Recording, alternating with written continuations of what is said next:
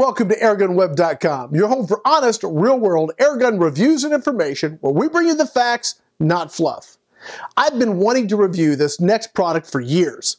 It's the RWS LP8 break barrel spring pistol in 177.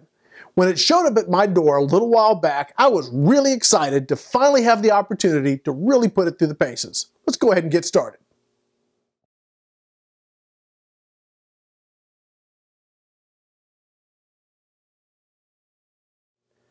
The RWS LP8 is a very hefty little air pistol.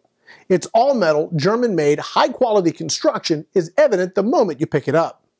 The LP8 is a large frame pistol that's going to be better suited for larger hands. Because it's fairly heavy, shooters are going to need to have good arm and upper body strength to hold it steady and to see consistent accuracy. If you plan to shoot from a bench, then the added weight becomes a distinct advantage as it helps really mitigate the recoil. The pistol ships with front and rear fiber optic sights with the rear sight being fully adjustable. These work great and provide a very fast target acquisition and accuracy provided you have the eyesight to take advantage of them. Fortunately for me, the LP8 also has an integrated 11mm dovetail, so I can use my BSA pistol scope. While the recoil from other break barrel pistols I've tested has really caused some issues with scope creep, I've had no issues with this LP8. I believe the textured finish has a lot to do with helping the scope mount remain secure on the rail. Let's go ahead and walk through operation.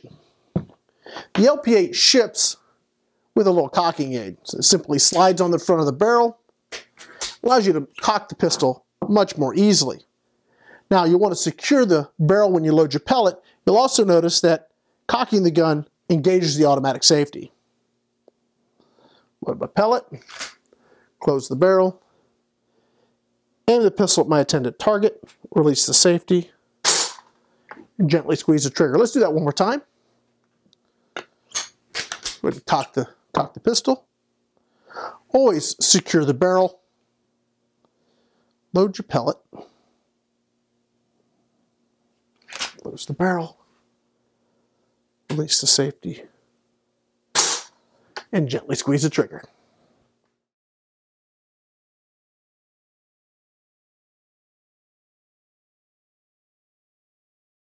The RWS LP8 is rated as getting up to 580 feet per second with lightweight lead pellets.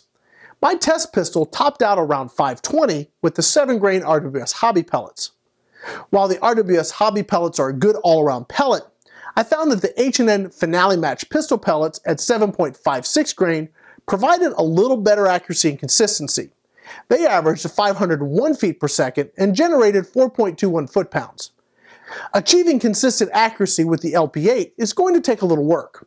Hold, trigger control, and follow through are all critically important. To evaluate the LP8's accuracy, I shot all my groups at 10 yards from a rest. All of my groups were under 1 inch, center to center. Here are my two best groups, which measured a lot better than that.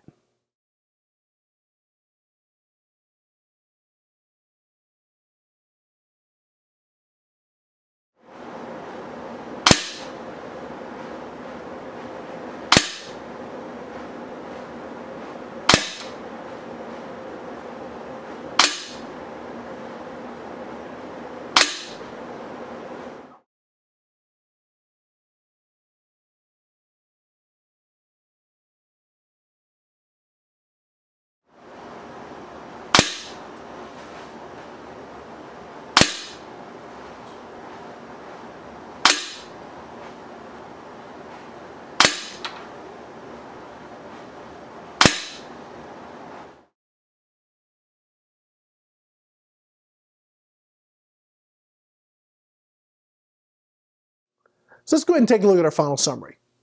Finally getting to shoot the LP8 has certainly been worth the wait. If I were going to be picky, I'd have to mention that the trigger could have been smoother and shorter in the second stage. But that's really all I can find to mention. The rest of the pistol completely impressed me. It's extremely well built, it cocks and cycles as nicely as any German-built airgun I've ever fired, and it's consistently accurate and predictable. The price point on the LP8 is higher than other similarly marketed products, but as with most things, you really do get what you pay for. The refinement and attention to detail really shines through. Having personally shot most of the competing products on the market, I would definitely choose the LP8 to sit at the top of my list for break barrel pellet pistols.